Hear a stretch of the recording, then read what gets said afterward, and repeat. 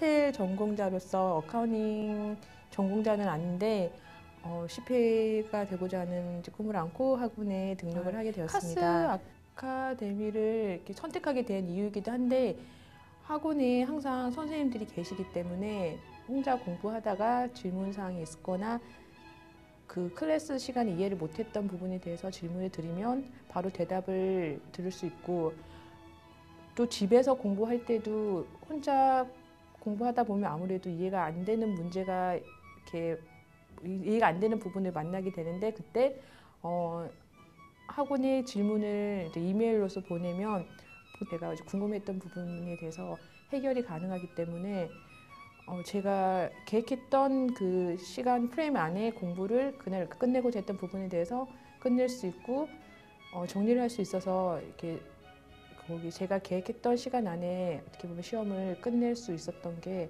예, 학원 선생님들 도움이 좀 많이 컸던 것 같습니다. 제가 카스를 선택해서 가장 어, 만족스럽고 도움이 됐던 부분은 어, 오프라인에서 그러니까 라이브 강의를 듣고 나서 부족하다고 생각했던 부분에 대해서 바로 집에 가서 바로 제가 부족했던 부분에 대해서 확인을 하고 복습이 가능했던 게 가장 좋았던 것 같고요. 확실히 학원을 다니게 되니까 전체 과정에 대한 리뷰를 해주시고 어디까지 봐야 되고 어느 범위까지 봐야 되는 것을 선생님이 잘 짚어주시니까 시간 절약이나 아니면 제가 계획했던 그 시간 안에 공부를 끝낼 수 있는데 많은 도움을 주시고 중간에 제가 또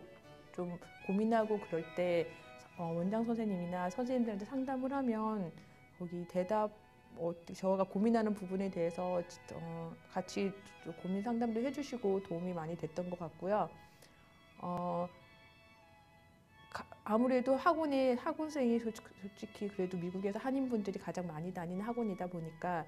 어, 한 윈도에 시험 보시는 학생분들도 많고 하니까 이런 그러니까 최신 시험 경향에 대한 정보 같은 것도 많이 얻을 수 있고 정말 업데이트된 정보를 많이 얻을 수 있는 게 혼자 막연히 아니면 그냥 다른 학원에서 공부하시는 것보다는 도움이 되는 부분인 것 같습니다.